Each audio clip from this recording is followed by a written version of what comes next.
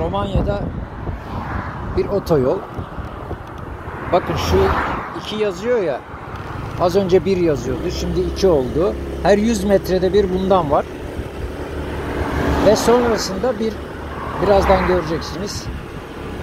İşte bir kilometre tamamlandığında o kadar çekmem gerçi videoyu.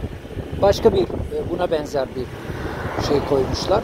Orada da gideceğiniz yöne kaç kilometre kaldığını gösteriyor. Yani koca koca tabelalar, direkler, taklar yok yolda. Ve yaklaşık 5 ülke gezdim Avrupa'da. Henüz polis çevirmedi. Ben Çamlıca'dan Kadıköy'e gidene kadar 3 defa çevrildiğimi biliyorum. Ya olacak şey değil ya. Ya bu kadar fark olmaz. Olmaz yani. İnsan kafayı yiyor. Yani Türk polisi, sevgili Türk polisi bizden tam olarak ne istiyorsunuz?